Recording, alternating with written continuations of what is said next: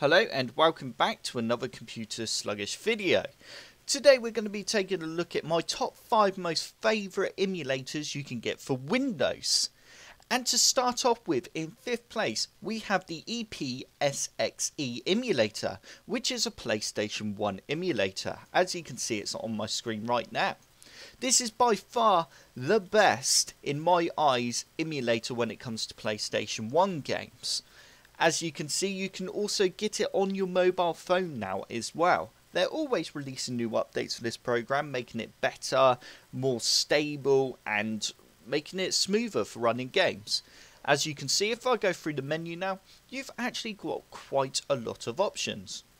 You've got five slots when it comes to saving games, and also obviously five slots for loading games. We can enable logs if we want, and if we go into configure, we have got a ton of options when it comes to configuring our video settings. As you can see here, there are a lot of options, which makes it handy. If you've got a slow computer, you can obviously tweak this program to run, wow, just to run really well on your machine. And also, if you've got a really powerful computer, you can obviously push this to the max to run really nice. Let's just close that down now and let's have a look at the sound options. As you can see, our sound options, there's not as many, but it still offers sound options, which is great. When emulators, normally they're quite limited. Also, we've got our BIOS here, which we can select multiple BIOSes if I press cancel and go down, we've got our memory cards here. And let's go across to options. We've got CPU overclocking, we've got CPU mode, we've got cheaty hacks, and we've got our language, and we've got cheat codes and also game profiles so you can have multiple game profiles and that is about it when it comes to the EPSXE emulator like I said, it really is one of the best you can get when it comes to PlayStation 1 games. And next up, we got the PCSX2, which is a PlayStation 2 emulator. Like our last emulator, the PS1 is a nice, easy, simple layout. If we click on System, we can load up our ISOs from here. Also, there's an option here to enable cheats if you like playing the old PlayStation 2 games, but you're fed up of doing the hard level, like some of those games they did used to be really hard, just whack on the enabled cheats and you can get through that level easy. Maybe with a nice invincibility cheat. If we go across now, we've got CD, DVD, and we can select our ISO from there. And if we go to configure, we got emulation settings if I click on there, we got lots of options here to either make the program nice and stable for your system if you've got a slow computer, or you can push it to the max if you've got a nice powerful computer. This emulator does require quite a decent processor. I've got an i7, which it would be fantastic on, but if you're running like a dual core 2, or an i3, you may struggle a little bit running the PlayStation 2 emulator. If we go down now, there's lots of options here, as you can see, which you can tweak to obviously make run smoother on a dual core 2 or an i3, which is absolutely great. We've got loads of game fixes here as well, if you're encountering problems within a game. If I press cancel now and go on to configure again, we've got other options here. You can select your controllers and USB options there, Firewire, and if we go across to MISC, we got our about and we got a console which is here, which tells you any errors you've encountered, what's loading, what's going on within the games. And we got a debug, debug option. And that is it when it comes to the PCSX2. And next up, we have Project 64. This definitely was one of my most favourite emulators back in the day. I remember running this a few years ago. I used to play on it all the time, absolutely loved it. It meant I could play my Nintendo 64 games on Windows. I mean, yeah, Super Mario, loved it.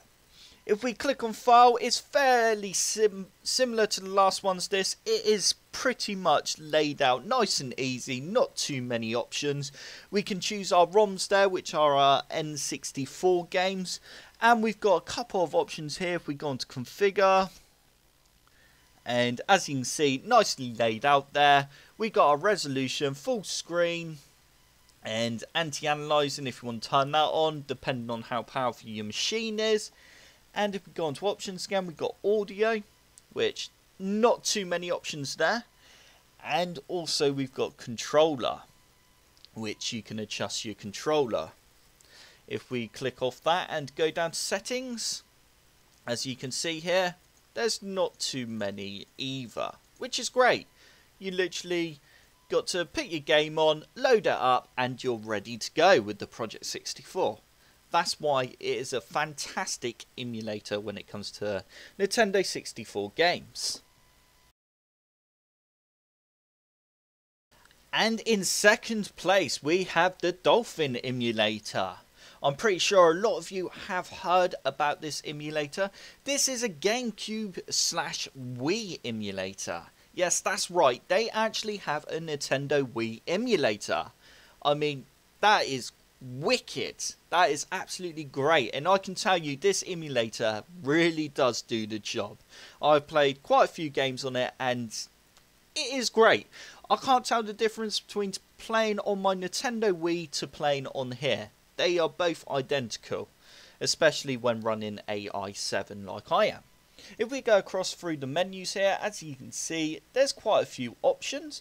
We can configure, We've got our general, we've got our interface, audio, we've got GameCube options there, and we've got our Wii options. We go across, We've got some path directories there, and we can enable CPU clock override. If we close that off now, we can click onto graphics and we can change it from OpenGL all the way up to Direct 3D 12. But this is only experimental at the moment, which means you may encounter a couple of glitches and bugs if you run this mode. We got enhancements here and we've also got our hacks. All these options are great, like I said in my last video, if your computer's not really up to the job, you can tweak around with all these settings in graphics and sound and yeah, configure anything to make it suit your machine. Which is why Dolphin is another fantastic emulator. Plus, why wouldn't it be? It lets you play Nintendo Wii games and GameCube games. Come on, you can't get much better than that. And in first place, we have BlueStacks. This is by far the most best emulator you will get on Windows. It allows you to play Android games on your computer. Yes, you can play Android games with your mouse and keyboard. That is awesome. And as you can see, it's really easy to get to get the games. All you have to do is press this little download button and you're done. As you can see, I'll press the download button now and I just press install, accept, and it's downloading. It's as simple as that. It now download and install. It even adds the shortcuts to your desktop so you don't have to keep loading up BlueStacks trying to find your games. You can simply boot it up from your desktop. But it's still just as simple when you load up BlueStacks. You can go to My Apps and as you can see all my games are there and there's Clash of Clans alert. It's already added. It's as simple as that and it runs smooth as well. It's not laggy. It's it is smooth, especially on a machine like myself. But if you do have a slow machine, there are still options. If we go to our settings, we can turn the resolution down, we can turn the DPI down, and we can go to engine and turn our memory up if we need to, and we can turn the cores up which will help improve game performance. We can change it from DirectX to OpenGL. We can also go back and we can have multi instances, which means I can run Wild Chef, Clash of Clans, and Dragon all at the same time in different tabs. Which is why this is one of the best emulators as well, because those games when you got to wait a couple of seconds for things to load, you can just keep switching between games. You you cannot get much better than that. I hope you enjoyed this video. If you did, hit the like button below and let me know what is your favourite emulator. Comment below and if you agree with these ones, let me know.